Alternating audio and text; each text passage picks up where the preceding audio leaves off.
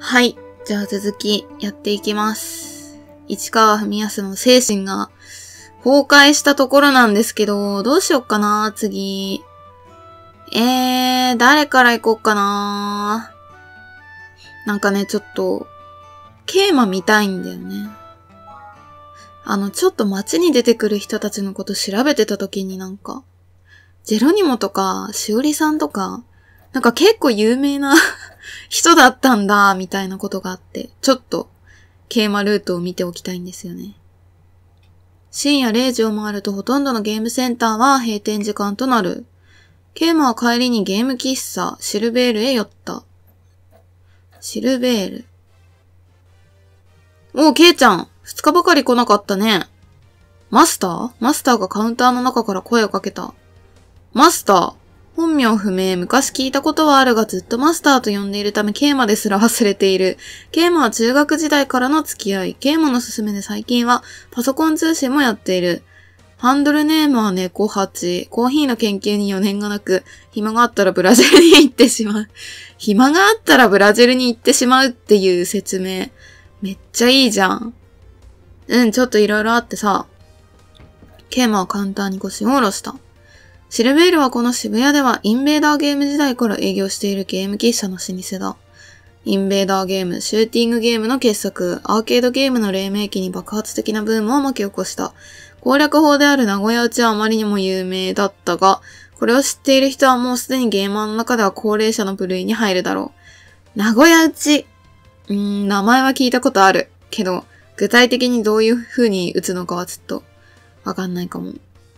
店内には名作と呼ばれるクラシックなゲームしか置いていない。ゲーム通のみぞ知る穴場なのだ。楽しそうでもこういうところ。はい、お待ち。特製ゲーマースペシャルブレンド。マスターが出したのはいつものコーヒー牛乳だ。この店では何も言わなくてもこれが出る。ここのコーヒー牛乳にだけは雪印も叶わないですよね。いやでも、パックよりも今ここで作ってもらったコーヒー牛乳は美味しいでしょう。ケイマは一口すするたびに幸せになる。無口なマスターは黙ってグラスを拭いている。ケイマはもう一口飲んでからミニパスを開いた。独自の操作データを呼び出してみる。モニター上に渋谷のゲーセンのリストが並んだ。その中から今回事件に関わった店だけを抜き出してみる。共通点はなしか。本当に？なんか場所をつなぐと魔法陣になってるんじゃない？ケイマはふと気になった。マスターこの店のゲームのメンテはどうなってるんでしょうか？あ、1ヶ月に一度だね。次は、と、明日の午後になってるよ。マスターはカレンダーから顔を出した。でもどうして？ああ、うん、ちょっとね。今回使われたゲーム機のほとんどは、どれも1ヶ月前にメンテが行われたものばかりだったのだ。うん。さてと、ケイマはいつものようにコーヒー牛乳のグラスを持って席を立った。またあれ？マスターが笑う。ケイちゃんほんと好きだね。名作だから。もう10年以上やってるよね。えー、なになにネプチューンを、ケイマはこのゲームをやりながら青春を過ごしたと言っても言い過ぎではない。ネプチューンを、ゲームメーカーのシンダイが開発した縦スクロールのシューティングゲーム、プレイヤーは第二次大戦下の零式戦闘機ゼロ戦のパイロットとなり、最強のイギリス海軍の攻撃をくくり抜け、ドイツまでたどり着けばクリアとなる。信頼。高校時代はいつも仲間と得点を競ったり、裏技を探しては自慢の試合をしていた。ケイちゃんがそれやってると、いつもあの子思い出すよ。えーと、なんだっけ？いい、いい。ほら、あの英語嫌いの。飯田さん？そう、飯田さん。飯田健次郎。ケイマの高校時代の親友だ。同級生なのに妙に貫禄があり、ふざけて飯田さんと言ってるうちにそれがあだ名として定着してしまった。あの子とよく競ってたよね。いつもケイちゃんが勝ってたけど。マスターは髭をいじりながら昔を懐かしむ。そのままじゃ勝てないから自分で基盤買ってきて改造してたよね。それに仕込もうとしてすぐバレたけど。意地っ張りでゴリ性なんだよ、あいつ。今でもまだ時々改造して遊んでいるらしいよ。うーん、でも不思議なもんだね。ゲーマーとしてはケイちゃんの方が上だったのに、今はケイちゃんが刑事で飯田さんはゲームクリエイターなんだもんね。わあ、なるほどな。なんかその改造するに至ったことによりゲームクリエイターになった。いやー、英語苦手だからプログラムなんかできないだろうってよくからかってたよね。さてと。やるか。ケーマは50円玉を放り込み、レバーをガチャガチャと動かす。50円なんだ。すると、タイトル画面が切り替わった。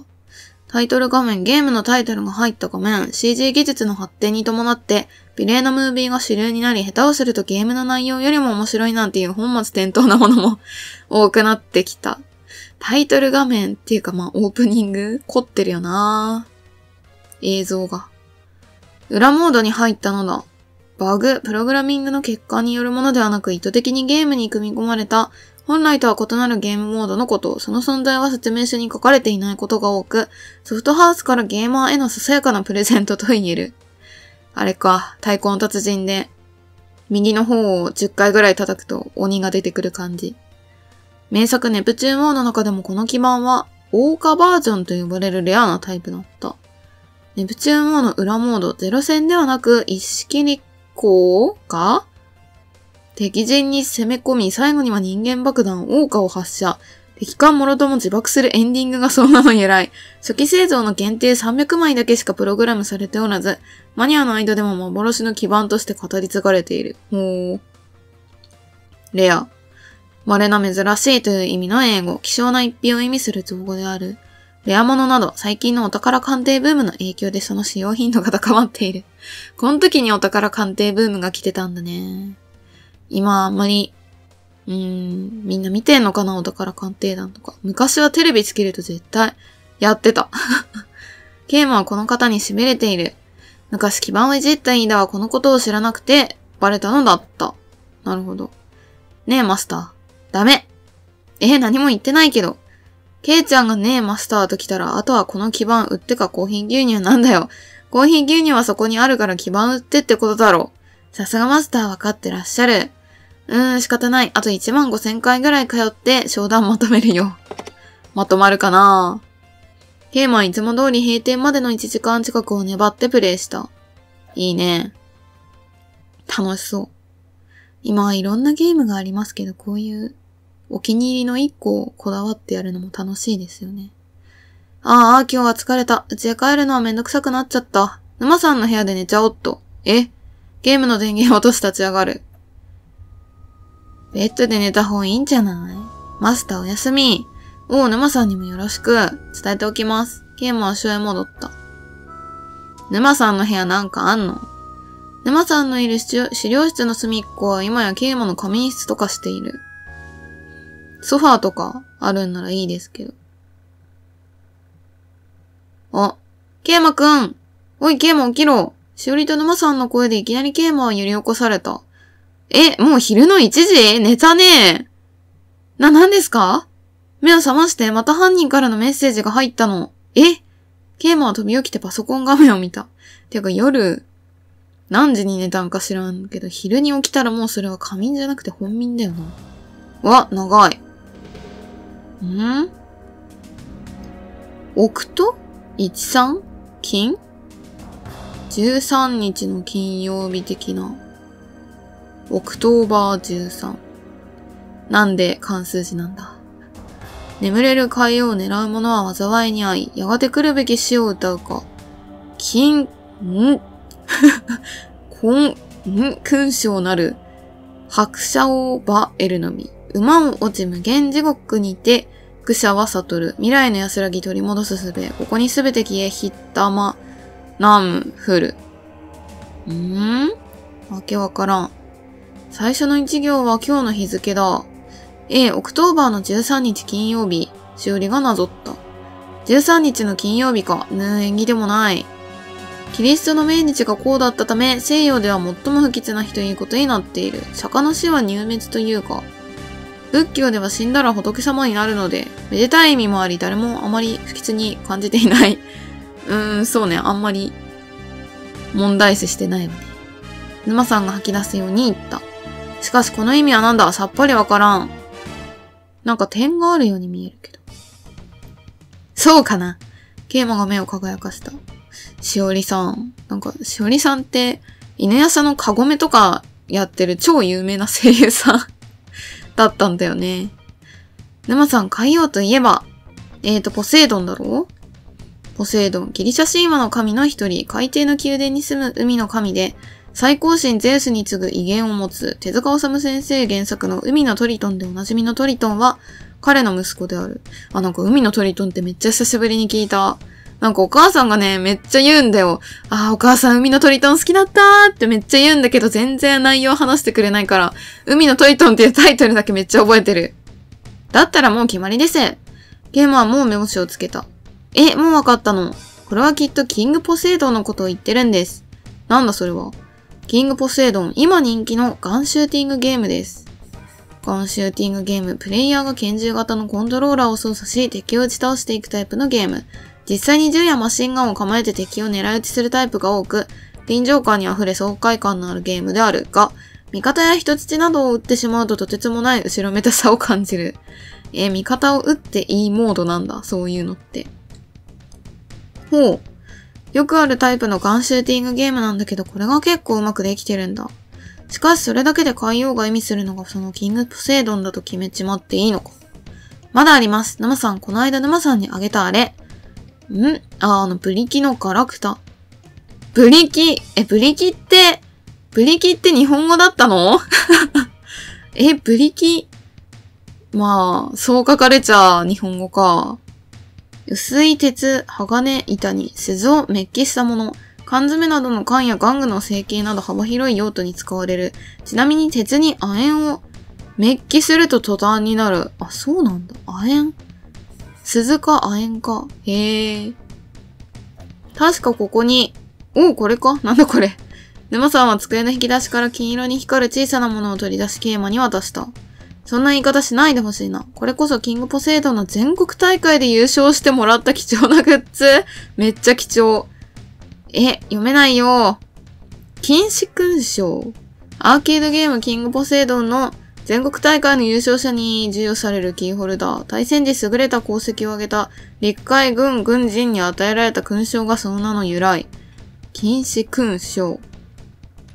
え、おいおい、それが禁止勲章かいですケイマ勝手に決めつけた。さあ、キングポセイドンを調べに行きません。待って、調べるってどこの店の？手当たり次第に調べるんです。多くたってポセイドンを置いてあるゲーセンは10件とありません。おい待て、ケイマ思い出した。海洋にはもう一つの呼び方があるぞ。え？ケイマは出花をくじかれた。そうよしおりが叫んだ。ネプチューンよえ？ネプチューン、ローマ神話の神の一人、海の神でギリシャ神話のポセイドンと統一されている。そうなの？え、じゃあネプチューンってあの三人組って、えー、神様だったんだ、海の。でもネプチューンか。そしたら、あのゲームじゃん？ポセイドンというのはギリシャ神話よ。ローマ神話では同じ海の神様のことをネプチューンというわ。へえ。あほら、渋谷にはたった一台ケイマくん行きつけのシルベールに、10年前のゲームネプチューンウォーが置いてあるじゃない。しおりさん詳しいですね。け、けどしおりさん、ネプチューンには禁止勲章がついてないよ。こんなものは引っ掛けよう。この犯人がフェアじゃないことはもう嫌になるくらいわかってるはずよ。ええー、でも、うーん、ネプチューンかポセイドンか、ケイマは迷った。うーん、そうね、禁止勲章か。でも、でも、絶対夜中にさ、ネプチューンをやりに行ったんだし、なんか、1ヶ月おきに、なんだっけ、メンテナンスしててどうこうの話もあったしなうーん、ちょっとバッドエンド臭い方を選んでみるか。ポセイドン行ってみよう。待って、ケイマくん先走らないで。いえ、待てません。絶対ポセイドンです。ケイマゲームは二人の精子を振り切って飛び出した。これだゲームは駅前のゲーセンビル、パワフルキャッスルにあるキングポセイドンに飛びついた。ポセイドン。ポセイドンと来たら宮殿。ちょっと強引だけど城を意味するこのゲーセンに違いない。ゲームは何の疑いもなく100円を放り込んだ。あー、楽しいねゲームがスタートした。しかし、いつもと何ら変わりがない。スタートボタンを押してもボタンを連打しても特に変化が起こる様子もない。これじゃないので成果。いや、そんなはずない。ゲームは鮮やかなテクニックで次々とステージをクリアしていく。しかし、いくらゲームが進んでも犯人からのメッセージや愚か隠しキャラさえ出てこない。やっぱり違うのかな不安が頭をかすめたとき、後ろで UFO キャッチャーをしているカップルの声が聞こえた。ん？ねえ、なんで将棋の駒なんてぬいぐるみの景品にするのかしら？全種揃えて巨大将棋でもやる人がいるんじゃないのかな？え ?1、3、金って。え？なになにじゃあ俺は5、4の玉だな。金に玉。なんちって、きっしし。えっちーそれは言うなる逆でしょ将棋？金に玉。瞬間、桂馬の頭に稲妻が走った。ま、まさかえ？桂馬を当ててミニパスを取り出し、第3の爆破予告を表示させる。1、2、3、4、5。桂馬は問題文の文字数を数え始めた。え？まさか、将棋になってる ?79、80、81。ちょうど81文字だ。そんな、そんな。動揺を抑えて問題文をモニター上で 9×9 文字に並べ替える。あ。13、金は？ケイマは右から縦に1列目、上から3番目の文字を押さえた。金だ !13、金やっぱり将棋だったんだしかも上下の中心に、王と玉がきちんと収まっている。ほんとだ。すげえ。だとすると、馬は桂馬だ。馬から落ちると無限地獄に落ちるんだったら、馬、つまり桂馬に乗って読んでやれば、桂馬って将棋の桂馬か。文字列のど真ん中にドットがある。ね、あったよね。このドットを起点に桂馬飛びして、無限、インフィニティの形を描くと、桂馬は余分な文字をすべて消去した。え？なんだって？そして空白の行を消去する。え、L、あ、ん？な、なんてシルベール、え、恋？歌うか、知らんよ。ん最後なんだ？歌？王歌か。シルベールへ恋、王歌知らんよ。なんだって？嘘だろ？ケイは自分の目を疑った。シルベールへ来い、王歌。王歌チラムや？シルベールの王歌といえばゲームは一つだ。犯人に狙われたのはケイマが一番入れ込んだゲームネプチューン号しかなかった。時計を見る。えー、午後1時33分、犯人のメッセージが届いてからもう30分以上も経っている。クソクソクソ、絶対はないってずっとしおりさんに言われてたのに、目の前が真っ暗になる。倒れそうになり泣きそうになる自分を必死で立たせてケイマはシルベールへと走った。しおりさーんケイマは叫びながらシルベールに飛び込んだ。あ？薄煙の中負傷した男をしおりが手当てしていた。え？え誰？誰？誰？誰なの？ええー、どうして？どうしてここに高峰隆二が？何してんの？だ、大丈夫ですか？ええ、だけど爆弾を処理しようとしてこの人が怪我を。な、なんで？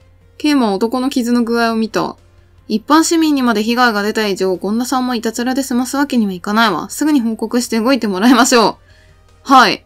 ええ？ー、何があったの？ちょっと。気になる。事件は公のものとなった。あれ？ん？第2、第3の爆破予告を知りながら報告を怠り、独自に捜査をしていたことがバレたケイマは任務を解かれ、新しい勤務地へと配属された。やっぱりそうですよね。そして1ヶ月後、沼さん宛に一通のメールが届いた。ん？あいいね、牧歌的で。沼さんお元気ですか？こっちは大きな事件もなく、周りの人たちも親切でとてもいいところです。ただ、この村には大きなゲーセンがありません。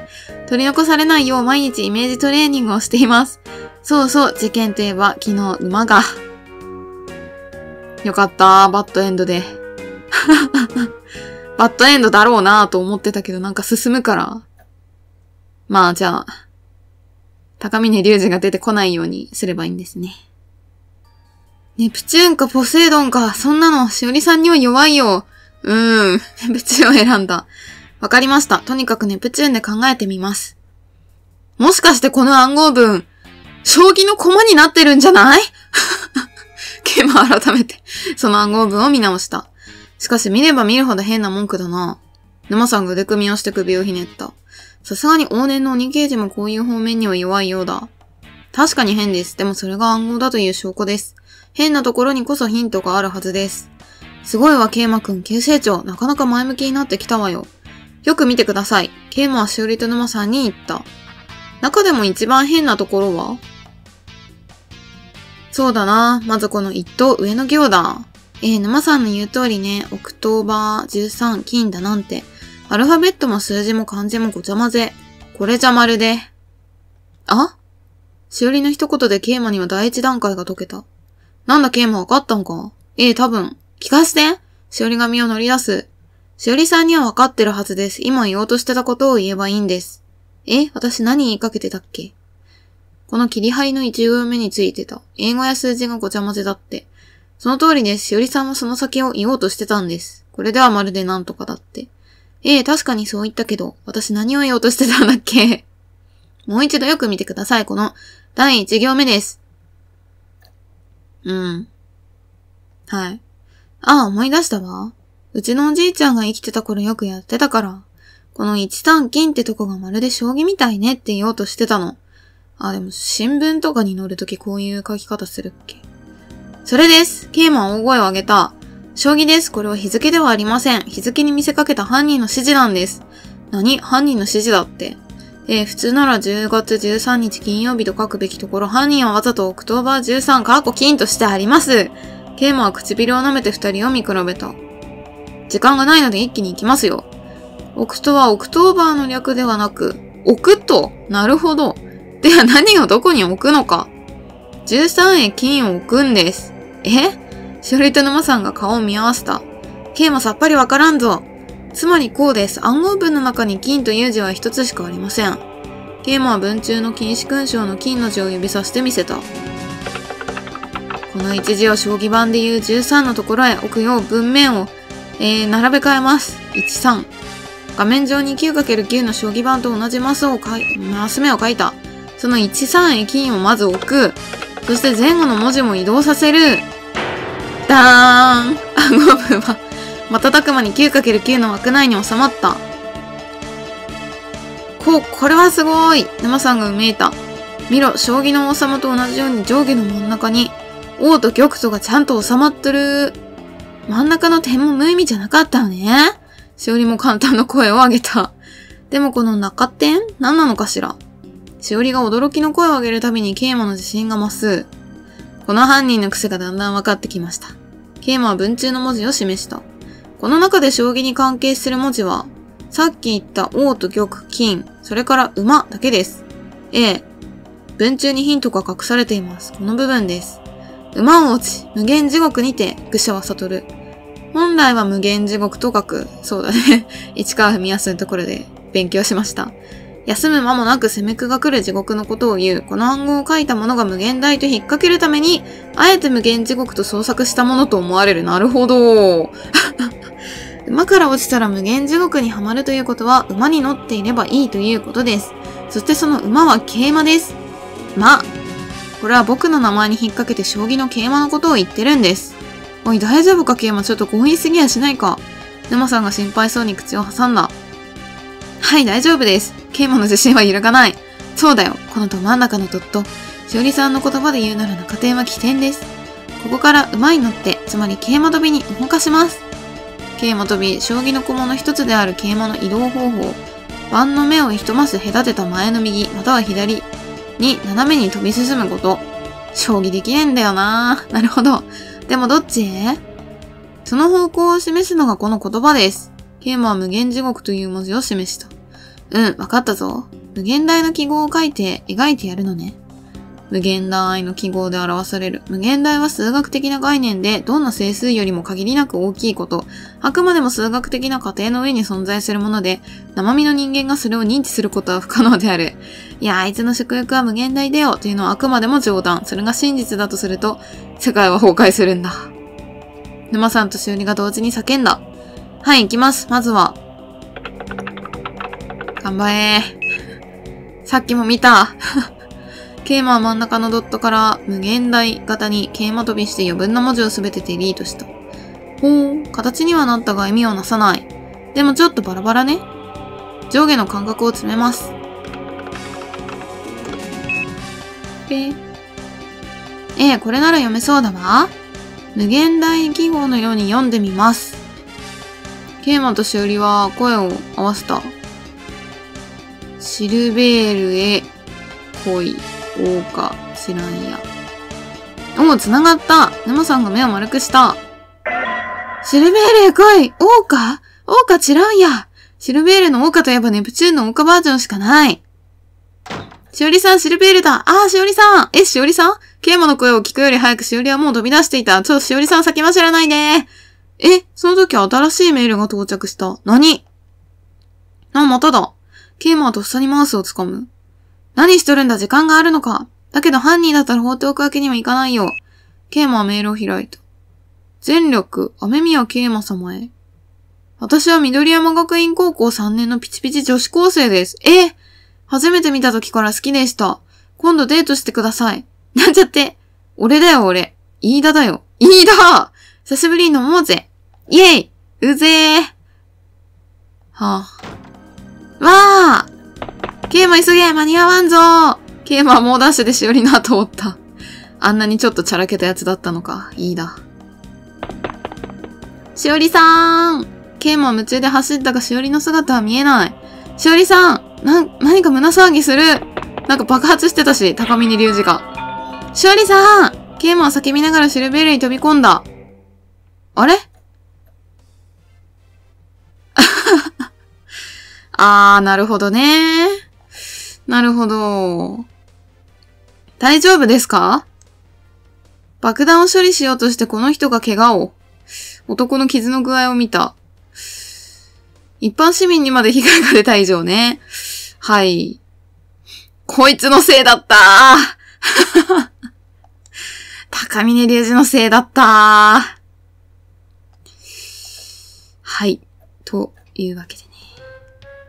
結局こうなる 結局こうなるよなんてこった。